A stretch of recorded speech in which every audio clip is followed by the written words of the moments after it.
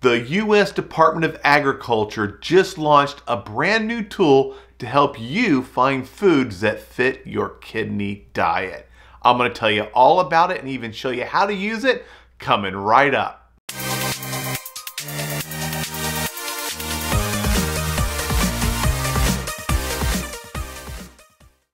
Hello, kidney warriors. James here, your favorite online kidney health coach and have I got something awesome to share today. But before we get to that, make sure if you haven't done so already, subscribe to my YouTube channel, youtube.com slash dadvicetv. And don't forget, click the little bell icon. That way you'll get a notification every time I upload another great video. Now, let's get on to today's topic. Finding the right foods that fit your kidney diet is a pain in the butt, let alone your kidney diet. Make it any diet, whether you got high blood pressure, diabetes, or you're just trying to lose weight.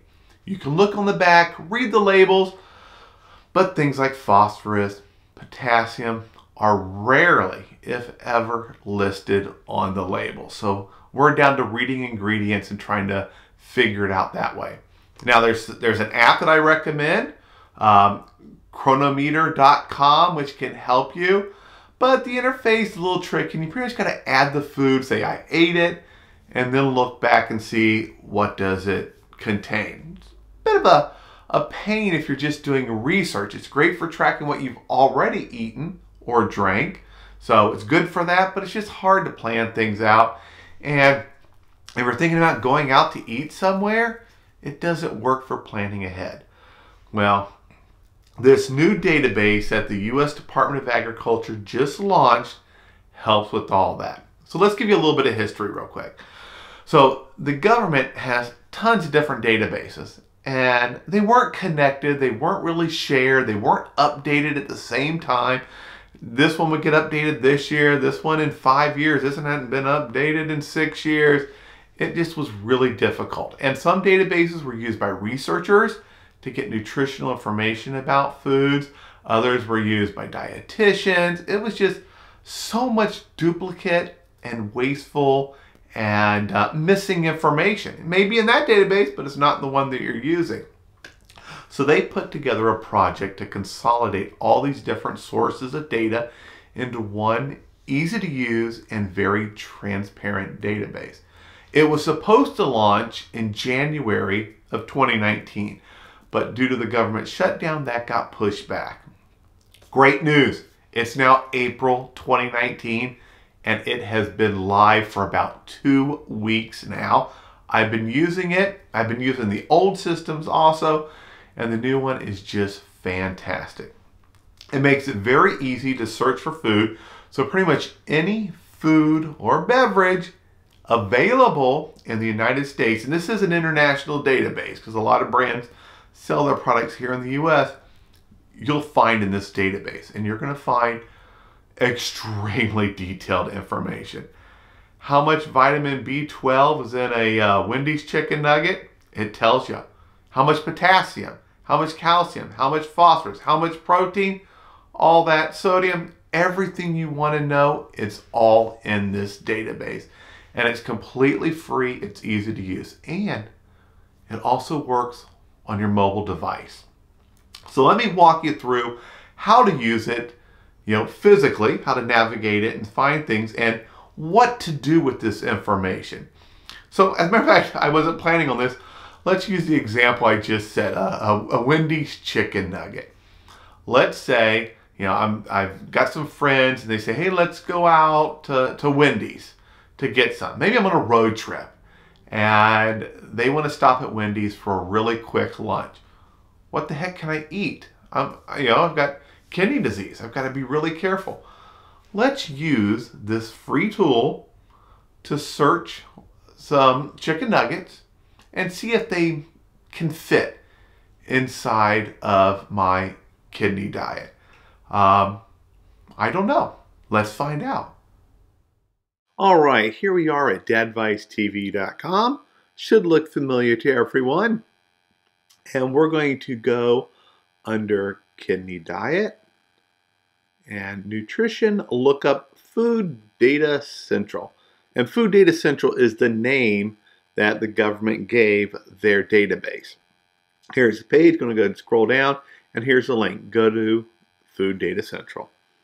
Now, right now, we are on the government's website, and you definitely want to make sure bookmark this page on your mobile device so you can bring this up at any time.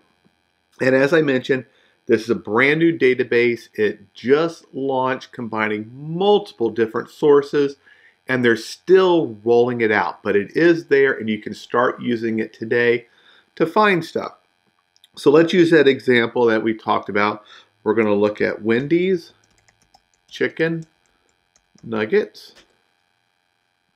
And right there they are, Wendy's chicken nuggets. Let me zoom this in, make it a little bit bigger and easier to read. And we can pick the size we want. We want a five piece. And here is our data. We got the amount of water, calories, 222 calories in a five piece. We got a little bit of protein, 11.2 grams. Actually, that's actually pretty good. Uh, we got all our sugar, iron, magnesium, a great thing to add to your diet. Make sure you're getting plenty of magnesium. And look at this. Here's what we're looking for. 184 milligrams of phosphorus and 170 milligrams of potassium. And, ooh, ouch, the sodium is a bit high, 480 milligrams of sodium. Now, most people with a kidney diet are restricted to 1500 or 2000 milligrams of sodium a day. If you're not restricted, you're probably shooting for 2300 milligrams of sodium. And, and on average, that works out to about 5 to 700 milligrams per meal. Now, you can, you know, eat a low sodium breakfast and use those saved up sodium amounts for lunch. But uh, 481, not too bad. This is just the nuggets with no sauce. So could this fit into my kidney diet? Yeah, I could make it fit. The phosphorus and potassium definitely look fantastic. The sodium, I got to keep an eye out. So if I pick a sauce, I want to pick one that has low sodium, or maybe you're like me, you just don't eat them with sauce. I love them just plain when I do eat them. And maybe add a side salad with no croutons, no tomatoes, and no cheese. Use a vinaigrette type dressing. Look at the sodium on it so we don't go over our allotment for that meal. Maybe even try some vinegar and oil or even just some lemon. Ask for some fresh lemons. They'll slice them up for you there at Wendy's and give it to you. And squeeze the lemon juice onto your salad, and it you know it tastes great. You add a cup of water, and there you go. We're stopping at Wendy's with my friends while we're on the road. I'm having the nuggets, a side salad without the crouton, cheese, or tomatoes, maybe some lemon for the dressing or a, a light vinaigrette that they have, and a cup of water, and there I am under my meal sodium allotment. Definitely not hurting on the potassium or the phosphorus. And that's just one example of how you could use this database. Let me show you one more great example that I really like.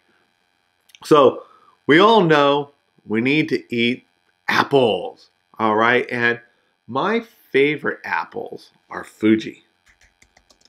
Let's take a look for Fuji apples. There they are. We're gonna go, I'm gonna go into this one because I know this is got all the data, the raw with the skin, and I usually get those medium ones. And I get them organic, which is a great thing to do. And here we go. I got my calories. Again, all that information, great to learn. And actually, um, you know, here's my phosphorus, really low, and potassium and sodium. I didn't show you on those nuggets, but you keep scrolling, it's all in here. Look at this. More and more. Now, this one, for example, doesn't list B12. There's no B12 in it. Other ones, they have B12, they'll list that. But here's what I like to do. So here we have, we got our sodium, there's practically none in these apples. I only got 200 milligram of potassium, 25 milligrams of phosphorus. I'm gonna grab a screenshot of that right there. Now let's come back And we're going to go back to search, and I'm going to change this to Gala apples, my son's favorite kind of apple. There we go. Let's pick that. I got to pick the same size so I can do a side-by-side -side comparison. And let's scroll down. There's my, you know, calories. And let's get to where we had that potassium. There we go, and sodium. Now I'm going to grab that screenshot that I just took and line it up close to this one so that I can kind of do an even comparison. Look at this. The Fuji apple, my preferred one, has I 25 milligrams of phosphorus. While that's still low, that's what, 20% more phosphorus than the Gala apples? Potassium, again, about 20% more. Sodium, not pretty much neck and neck. So if I'm really, really trying to pick what are exactly the best foods, maybe I really have a challenge with phosphorus, this tool can even help you pick which fruits, which vegetables, you know, from the different varieties that you'll find at your grocery store work best inside of your diet. And I just want to make sure it's clear to everyone, not all foods are in here yet. They're still rolling this all out, but it's getting better and better every week. And this has only been out for a little over two weeks. They're going to keep getting more and more stuff into this. And third party apps can now access this data for free. So we should start seeing a lot more of those food tracking apps now showing phosphorus, potassium, calcium, uh, the sodium, and even magnesium. That's a good one to have more of in your kidney diet. Magnesium is a great element to help your kidneys and help your overall health. So, wow, what do you think? Let me know in the comments. Do you think this tool is useful? I think I'm going to see a lot of thumbs up and a lot of, yeah, this is a great tool. Again, it is completely free and it works on your mobile devices so you can access this data anywhere. Use it to plan meals. Use it to make decisions on what's the best thing for you to eat. Use it to figure out how you can eat out. Now, we went through an example of eating out at fast food. I do not recommend eating out at fast food very often look at it as an occasional treat for yourself. It is possible. Um, I've actually been through tons and tons of the popular fast food chains, going through everything they have and then reviewing it again with a dietitian. Those videos will be coming up on what you can eat at each of the popular fast food chains. But you can use this database to figure out if you're going to go to Popeye's Chicken, what can you eat? Well, you're going to find out by using this database. You can have one wing, one leg, take the skin off, and uh, some coleslaw, maybe some corn, and drink water. And all of a sudden, you have an occasional, not very often, but an occasional fast food lunch or a little, you know, dinner. I want to say snack, but it's, you know, it's going to consume a lot of sodium. We got to watch out for that. Uh, but yeah, this makes it easy to find places you can go out to. So you're not cooking every single meal. You're not relying on the same exact ingredients and experience. You can be more social, and that's going to help you both mentally and emotionally as you fight and beat kidney disease. Isn't that just great? It's fantastic going out with friends and you know planning it beforehand. You just get there and you know exactly what to order that can fit your diet. Now, as always, you can find this and so much more information on my website, dadvicetv.com. I encourage you to bookmark it and check back often. I'm going to again remind you, if you haven't done so already, subscribe on my YouTube channel. I'm trying to build up my list of subscribers so that I can get more doctors to take me even more serious and give me their time do video interviews, do some some uh, webinars possibly for us to share more information, all at no cost. You know, it's it, it costs us so much money, even with insurance, to get time with a, a nephrologist, and you may not have a great one. Well, I am trying to find all the best ones and bring them here in video to YouTube so that you, I, and everyone else can benefit from them. Speaking of benefiting, don't forget to share this video with anyone you think may you know benefit from it. Now today's topic was really about how to use this new database to help you with your kidney diet. It works with any diet, whether you're losing weight, you're diabetic, you got high blood pressure, you're watching sodium, doesn't matter. This information is available free, it's transparent, and the database is just going to keep getting better and better and better. It just launched in the beginning of April 2019, and they still have so many more things to add to it. And then they're going to go through and keep updating the data, keeping it current. And finally, join me, be part of the conversation on my Facebook page, facebook.com slash dadvicetv. I love to, you know, chat with you, share opinions, hear about your success. Or do you have struggles? Let me know what they are. Put them in the comments or go on to Facebook and send me a message.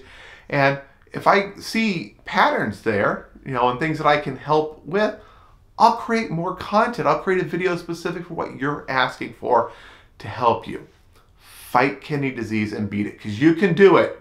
You know, don't give up. If your doctor didn't give you the hope and the inspiration, I'm giving it to you. You can live with it. You can beat kidney disease with the right lifestyle, the right diet, and using your medication to manage whatever caused it. You know, that's first thing. Let's stop the damage. But using diet, you know, exercise, light exercise, you can beat kidney disease just like I'm doing and get stronger and stronger every day. All right. I appreciate your time. Thanks for watching and I'll see you next time.